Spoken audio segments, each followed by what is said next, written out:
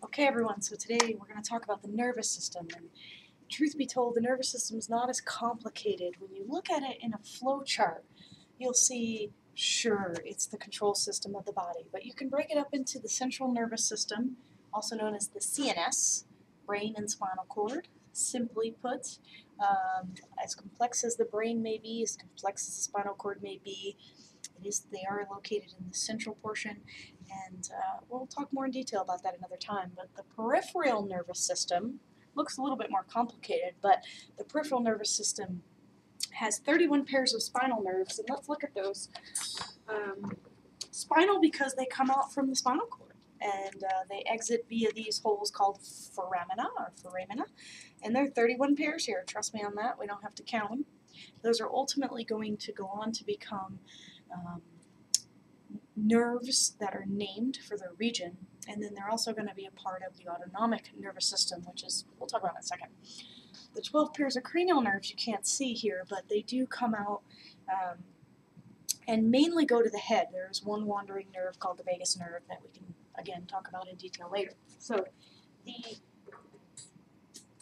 peripheral nervous system, 31 pairs of spinal nerves, 12 pairs of cranial nerves, um, dividing those into somatic, which are sensory and motor nerves, and autonomic, which it happens automatically. It kind of comes from the word soma means body, and this um, this side is, uh, like I said, sensory bringing information in, motor bringing um, sending information um, back out from the spinal cord.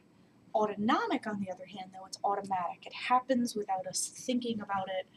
Um, pretty intricate system, pretty amazing system that can also be divided up into sympathetic, parasympathetic sections. And when we look at these two divisions, I guess not sections, but divisions, we have the sympathetic nervous system, which is our fight or flight. And if you're going to run away quickly because, oh, I don't know, you just robbed a bank, and uh, you've got to you got to move faster than you've ever moved before, this system kicks in. It also kicks in in times of stress, well, like robbing a bank and running away from the police. Um, and uh, we really work as massage therapists to decrease this dominance that can happen when, when we're really stressed as humans. Um, we rely on this system way too much and it can become dominant. And uh, the parasympathetic system, rest and digest, is the other division of the autonomic nervous system that massage therapy absolutely uh, has a profound effect on. We decrease heart rate, we decrease blood pressure, and that's uh, parasympathetic nervous system's responsibility.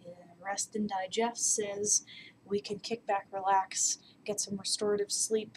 Um, when we have parasympathetic dominance, we will have digestion that occurs because, again, our body's in a, oh God, dare I say, normal state.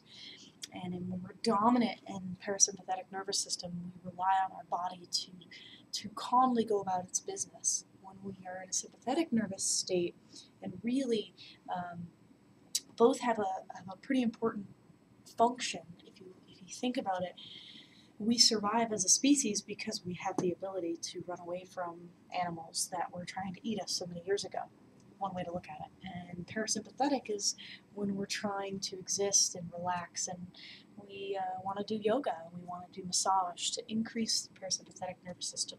So, nervous system, central, peripheral, central brain and spinal cord, peripheral, we could argue everything else.